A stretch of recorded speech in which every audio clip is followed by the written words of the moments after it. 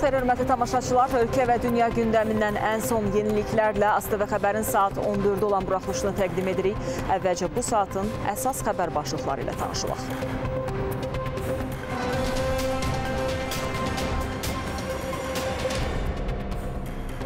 Prezident administrasiyası Qarabağın erməni ictimaiyyətinin nümayəndələri ilə ikinci görüşün Bakıda keçirilməsini təklif etdi. Avropa Parlamentindən növbəti ermənipərəst mövqe. Təsisat Azərbaycana qarşı obyektivlikdən və reallıqdan uzaq böhtan xarakterli qətnamə qəbul etməyə hazırlaşır. Laçın Xankəndi yolunda ekofəallar və qeyri-hökumət təşkilatları nümayəndələrinin etirazları davam edir. Aksiya bölgəsində bugün nələr baş verir? Ətraflı Şuşadan birbaşa bağlantımızda. İrandan Azərbaycana qanunsuz keçmək istəyənlər saxlanıldı. Fransadan Korsikaya qarşı separatçı qərar. Korsikada ana dili qadağan olundu. Rusiya-Ukrayna müharibəsi davam edir. Kiyev meri Almaniyanı silah tədarükünü sürətləndirməyə çağırdı. İndi isə ətraflı. Prezident administrasiyası Qarabağın erməni ictimaiyyətinin nümayəndələrinin reinteqrasiya ilə bağlı təmasların davam etdirilməsi, ha belə Qarabağda infrastruktur layihələrinin reallaşdırılması məsələlərinin müzakirəsi üçün ikinci görüşə dəvət edir. Görüşün yaxın günlərdə Bakıda keçirilməsi təklif olunur. Prezident administrasiyası bu barədə məlumat yayıb. İndiki Ermənistandan qovulmuş Azərbaycanlıların öz evlərinə qayıtmaq hüququ var. Bu hüquq Dünya İnsan Hüquqları bəyannaməsində və digər beynəlxalq aktlarda təsbit edilib. Bu fikirləri Milli Məclisin sədri Sahibə Qafarova Parlamentlərarası İttifaqın 146-cı Assambleyasının ilk iclasında Ermənistan parlamentinin spikeri Alen Simonyanın növbəti əsassız iddialarına cavab olaraq səsləndirib. Ətraflı əməkdaşımızın Bəhreyindən hazırladığı reportajda.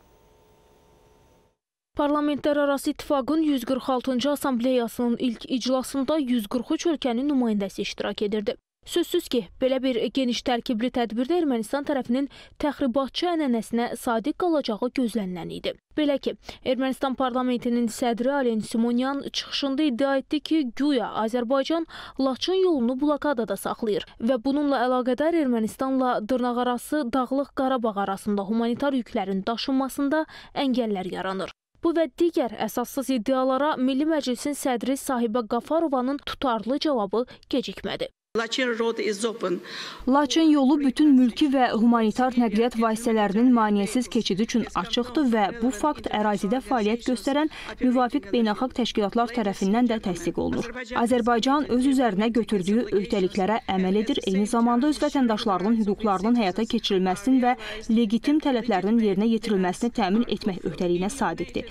Erməni spiker öz ölkəsində yaşayan milli azlıqları və güya onlara verilmiş hüquqları sadaladı. Qeyd edim ki, Azərbaycanlılar əsrlər boyu məskunlaşdıqları indiki Ermənistandan bir neçə mərhələdə zorla qovulub. 1980-ci illərin sonunda baş vermiş sonuncu mərhələ 300 mindən çox Azərbaycanlının qovulması ilə nəticələnib.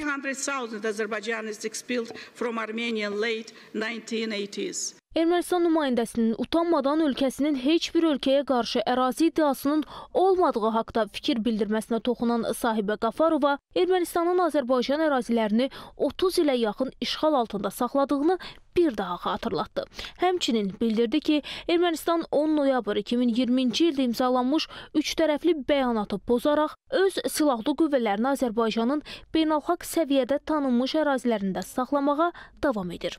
Martın 12-sində Parlamentlərarası İttifaqın 146-cı Assambleyasının ilk iclasına başlanıldı və burada ümumi müzakirələrdə birgə dinç yaşayışın və inklüziv cəmiyyətlərin təşviqi, dözümsüzlüklə mübarizə mövzusuna dair parlamentarlərlə fikir mübadiləsi aparıldı. Həmin mövzu ətrafında çıxış edən sahibə Qafarova isə bu sahədə Azərbaycanın görmüş olduğu işlərə dair informasiyaları tədbir iştirakçılarının diqqətinə çatdırdı. Multiculturalism is a way of life Multikulturalizm xalqımız üçün bir həyat tərzidir. Eyni zamanda bu dövlət siyasətidir. Hökumətimiz bu dəyərləri qorumaq və daha da inkişaf etdirməklə yanaşı, Azərbaycan Respublikasının prezidenti İlham Əliyevin himayəsi altında multikulturalizmi, tolerantlığı və dinlərarası dialoqu təşviq edən çoxsaylı beynəlxalq tədbirlər təşkil edir.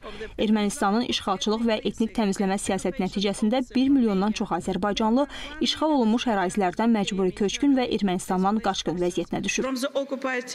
Migrants and refugees from Armenia.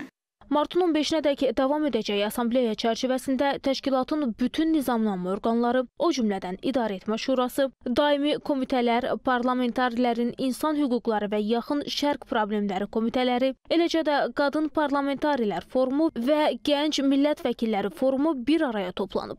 Bugün Bakı vaxtı ilə saat 19-da isə Qoşulmama Hərəkatının parlament şəbəkəsinin ikinci iclası keçiriləcək. Aysel Abbasova, Səkinə Bababəyova, Emin Şahverdizadə, Natiq Abbasov, ASTV xəbər. Avropa Parlamenti Azərbaycana qarşı obyektivlikdən və reallıqdan uzaq, böhtan xarakterli qətnamə qəbul etməyə hazırlaşır. Başqa sözlə desək, Ermənistanın və erməni lobbisinin konyak diplomatiyasından gen bol faydalanan Avropa təsisatı növbəti dəfə erməni pərəsliyini nümayiş etdirir. Avropa Parlamentinin sayı hesabı bilinməyən belə qərəzli qətnamələri kağız parçasından başqa bir şey deyil. Azərbaycan həmin qətnamə layihəsində əksini tapan Dağlıq Qarabağ, Minsk qrupu kimi kəlmələri bir dəfəlik tarix tarixin arxivinə göndərib. Son zamanlar beynəlxalq aləmdə ardıcıl uğurlara imza atan Azərbaycana qarşı yürüdülən bu kampaniya ölkəmizə gözdən salmaq cəhdindən başqa bir şey deyil. Amma zaman və tarix dəfələrlə sübut edib ki, bu yolla Azərbaycanın nüfuzuna xələl gətirmək mümkün deyil. Yaxşı olardı ki, Avropa Parlamenti bu qarayaxma kampaniyasına dəstək vermək əvəzinə təsisatda baş alıb gedən rüsvaçı korrupsiya, rüşvət əməllərinin qarşısını alaydı. Çünki Avroparlamentarilərin son korrupsiya əməlləri əməllərindən sonra qurumun olan qalan etibarı, nüfuzu da iflasa uğrayıb. Qarabağda faydalı yataqların qanunsuz istismarına qarşı ekoloji terrora son devizi ilə keçirilən aksiyanın 92-ci günüdür. Ekofəallar və qeyri-hökumət təşkilatları nümayəndələrinin keçirdiyi aksiyanın gedişi ilə bağlı son məlumatları Şuşadan bizimlə birbaşa bağlantıda olan əməkdaşımız Elnur Tofiq çatdıracaq. Hər vaxtınız xeyir Elnur, buyurun yeni məlumatları sizdən işləyək. Salam Könül, hər vaxtınız xeyirli olsun. Tam 92 gündür ki, Laşın-Xankəndi yolunun Şuşadan keçən hissəsində etiraz aksiyaları davam edir və həftə hesabı ilə artıq 14-cü həftənin ilk günündəyik ki, e, yolun Şuşadan keçən hissəsində ekofəallar fasiləsiz olaraq şuar səsləndirib tələblər rəli sürürlər və bu 92 günlük dinç mübarizə və mücadiləndə səsləndirilən tələblər hələ də yerinə yetirilməmiş qalır. Amma bütün buna baxmayaraq elə ilk gündə olduğu kimi iştirakçılar yüksək əhval ruhiyyə ilə tələbləri yerinə yetirilən günə qədər burada dayanacaqlarını deyirlər və yenə şuarlar səsləndirirlər və tələblərini irəli sürürlər. Könül ümumiyyətlə bildirim ki, artıq 92 gündür ki, məhz aksiyanın keçirildiyi ərazi, e, daha doğrusu təyinatı üzrə istifadə olunur Laçın-Xankəndi yolu. Yəni bu ərazidən artıq qanunsuz yüklərin daşınması elə aksiya iştirakçılarının sayəsində dayandırılıb. Amma aksiya dinç xarakter daşıyır və e, gün ərzində elə e, kifayət qədər avtomobillərin e, keçidi buradan reallaşır və ötən günlərdə olduğu kimi bu gün də humanitar yüklərin keçidi üçün yol açıq saxlanılıb və bu saata qədər artıq ona yaxın avtomobilin hərəkətini biz qeydə almışıq. Amma paralel olaraq Laçın istiqamətindən Xankəndinə çox böyük bir karvanın keçidi də gözlənilir. Hazırda e, yəni karvanda olan avtomobillərin əraziyə toplanması prosesi gedir və onlar ərazidə toplandıqdan sonra e, yəni aksiyanın keçirildiyi ərazidən e, Xankəndi istiqamətinə hərəkət edəcəklər və bildirim ki, bu cür keçidlərə aksiya iştirakçıları tam şərait yaradırlar. Həm Rusiya sülhməramlı kontingentinə məxsus, həm ərazilərimizdə yaşayan erməni əsilli vətəndaşların Beynəlxalq Qızıl Xaç Komitəsinin avtomobilləri ilə fərqli istiqamətlərə hərəkətinə, yəni bu cür keçidlərə tam şərait yaradırlar. Baxmayaraq ki, yəni bu yol artıq qanunsuz yüklərin daşınmasına bağlıdır və mart ayının 5-də elə mənim dayandığım yerdən sağ istiqamətdə baş verən Xəlfəli Turşu yolundakı qanlı təxribatdan sonra bir daha əminliklə demək mümkündür ki, məhz Laçın-Xankəndi yolunun alternativi yoxdur. Yəni humanitar məqsədlərlə daşımalar yalnız bu yoldan Laçın-Xankəndi yolundan istifadə edilməklə icra oluna bilər və aksiya iştirakçıları isə Azərbaycanın suveren ərazilərində olan təbii sərvətlərin qanunsuz e, talanmasını, dayandırılmasını tələb edərək e, artıq 92 gündür ki, bu aksiyanı davam etdirirlər və bildirirlər ki, müvafiq qurumların monitorinq qruplarının həmin ərazilərə səfəri təmin edilməyənə qədər və bu yaşıl terror dayandırılmayana qədər bu aksiyanı davam etdirəcəklər. Könül, mənim hələ ki çatdıracaqlarımız bunlardan ibarət idi. Sözü yenidən sizə veririk. Təşəkkür edirəm. Çox sağ olun ətraflı məlumata görə. İrandan Azərbaycana keçməyə cəhd edən 3 nəfər saxlanılıb. Onlar Dövlət Sərhəd Xidmətinin sərhəd qoşunlarının Horadiz sərhəd dəstəsinin Füzuli rayonunun Böyük Bəhmənli kəndi yaxınlığında yerləşən sərhəd zastavasının xidməti ərazisində dövlət sərhədini pozmağa çalışıblar. İrandan Azərbaycan istiqamətinə keçməyə cəhd edən şəxslər termal video müşahidə kameraları vasitəsilə müəyyən olunub. Araşdırma zamanı saxlanılan şəxslərin Əfqanistan vətəndaşları Davud Əfşar Canmuradoğlu, Nadir Cümə Abdurraufoğlu, oğlu və Nəcibullah Halili Abdülnəzər oğlu olduğu müəyyənləşdirilib. Davam edirik. Korsikada ana dili, yəni Korsika dili qadağan olunub. Əsarətdə olan adanın yerli məhkəməsi Fransanın təzyiqi ilə belə bir qərar qəbul edib. Korsikanın yerli parlamentində Korsika dilinin qadağan edilməsi ada sakinlərini qəzəbləndirib. Korsimatin.com saytı yazır ki, Bastiya İnzibati Məhkəməsi yerli parlamentdə müzakirələrin Korsika və fransız dillərində olduğunu bildirən prosedur qaydalarının müddialarını ləğv edib. Məhkəmə hesab edir ki, bu müddəa Fransa Konstitusiyasının ikinci maddəsinə tamamən ziddir. Qərar mərkəzi hökumətin adadakı ən yüksək nümayəndəsi olan Korsika prefekti tərəfindən qaldırılan məhkəmə iddiasından sonra eləcə də Emmanuel Macron administrasiyasının yerli siyasətçilərlə Korsikaya daha çox muxtariyyət verilməsi barədə danışıqlar apardığı bir vaxtda qəbul edilib. Muxtariyyət tərəfdarı olan aparıcı siyasətçilər məhkəmə qərarını dərhal tənqid ediblər. Adanın İcra Şurası və Korsika Assambleyasının sədrləri bildiriblər ki, qərar Korsika parlament üzvlərinin debatları zamanı öz dilində danışmaq hüququnu əlindən alır. Adanın seçilmiş məmurları qərardan apellyasiya şikayəti verib. Məmurlar Korsika dilinin yaşaması və inkişafı üçün fransız dili ilə yanaşı ona rəsmi status verilməsini tələb edir. Fransanın Korsika adasında ə, baş verən hadisələrə reaksiyası neonasizmin və neomüstəmləkəçiliyin ən növbəti təzahürlərindən biri hesab edilməlidir. Ümumilikdə beynəlxalq hüquqdan, bəşəri dəyərlərdən danışan Dünya Birliyinin Fransanın 21-ci əsrdə ə, öz coğrafi ərazilərinə daxil olmayan fərqli areallarda həyata keçirdiyi işğalçı siyasətinə göz yumması siyasi titrəliyin və beynəlxalq imperializmin ifşa etmiş olur. Müstəqillik tərəfdarı olan Kore Inforte partiyası isə Twitter hesabında bu qərarı rüsvayçı adlandırıb.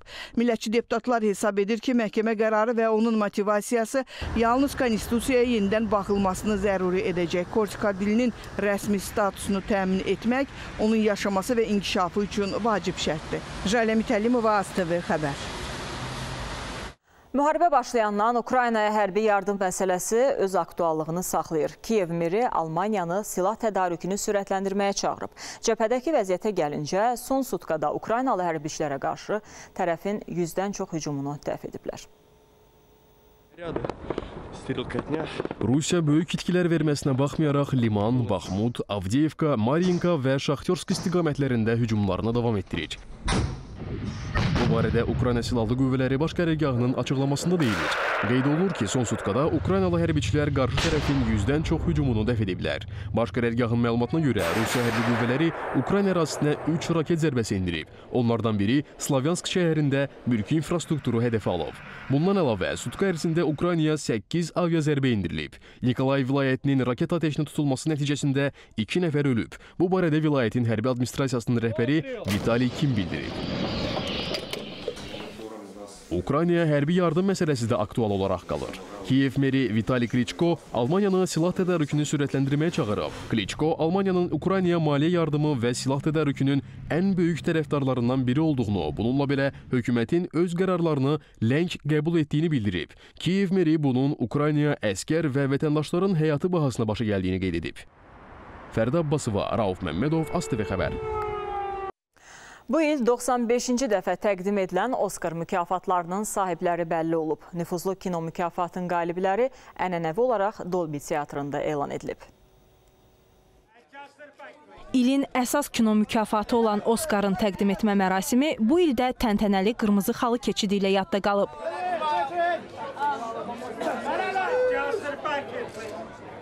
Xüsusi libaslarda və kostyumlarda göz qamaşdıran məşhurlar pərəstişkarlarla görüşüblər. Ənənəvi olaraq Dolby teatrında keçirilən mükafatlandırma mərasimində hər şey hər yerdə və dərhal ilin ən yaxşı filmi seçilib. Thank you guys. Thank you so much. And to my fellow nominees, thank you so much guys. Thank you.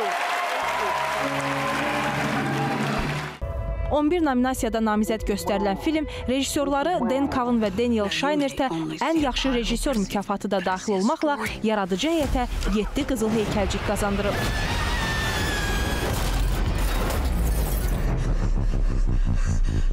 Ekranlara çıxdığı gündən böyük maraq və rəğbətlə qarşılanan Qərb cəbhəsində yenilik yoxdur filmi isə 9 nominasiyadan 4-ündə qalib olub və ən yaxşı xarici dilli film seçilib. And the Oscar goes to Edward Berger, All Quiet on the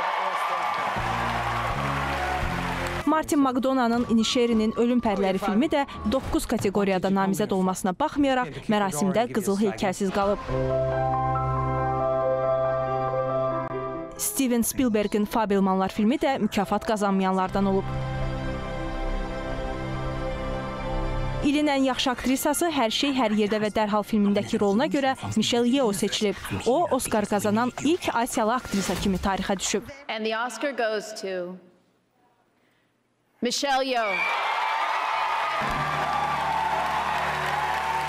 Mumia yerin mərkəzinə səyahət filmləri ilə 2000-ci illərin sevimli aktyoru olan Brandon Fraser isə Balin adlı ekran işindəki roluna görə ən yaxşı aktyor adına layiq görülüb. Qeyd edək ki, uzun fasilədən sonra kinoya qayıdan Fraserin çəkildiyi Balina filmi Venesiya festivalında nümayişindən sonra 6 dəqiqə fasiləsiz alqışlarla qarşılanmışdı. Someone close to me passed away and it had an effect on me. Ən yaxşı uyğunlaşdırılmış ssenari Oskarını Qadın söhbətləri filmi alıb.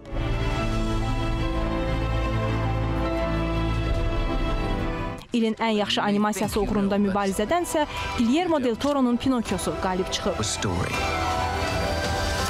Xavər Zayrova, ASTV xəbər. Milli Hidrometeorologiya Xidmətinin məlumatına görə günün ikinci yarısından başlayaraq martın 15-nədək bəzi ərazilərdə, xüsusilə Bakı və Abşeron yarımadasında küləkli hava proqnozlaşdırılır. Fövqəladə Hallar Nazirliyi bununla əlaqədar əhaliyə müraciət edib. Fövqəladə Hallar Nazirliyi əhaliyə müraciət edərək gözlənilən hava şəraiti ilə əlaqədar müvafiq təhlükəsizlik qaydalarına riayət etməyə çağırır. Belə ki, güclü küləkli havada yüngül konstruksiyalı və müvəqqəti tikililərdən, bina və reklam lövhələrindən uzaq durmaq, elektrik dirəyi və naqillərinin hündür ağacların altında dayanmamaq tövsiyə olunur. Həmçinin güclü küləyin baş verən yanğınların söndürülməsi ilə əlaqədar yaratdığı çətinlikləri nəzərə alaraq, küləkli hava şəraitində yanğın təhlükəsizliyi qaydalarına xüsusilə ciddi riayət edilməlidir. Hörmətli tamaşaçılar, son olaraq qaynar xəttimizi diqqətinizə çatdıraq. 051 511 1956 nömrəsinə zəng edib qarşılaşdığınız hadisələr, mövzular, təklif və iradlarınız barədə məlumat verə bilərsiniz. Eyni zamanda WhatsApp və Telegram hesabımız vasitəsilə də bizimlə əlaqə yaratmaq mümkündür. Hələlik isə bu qədər. Bir qədər sonra efirimizi döyüşçü verilişi davam etdirəcək. Növbəti buraxışımızda yenidən görüşək.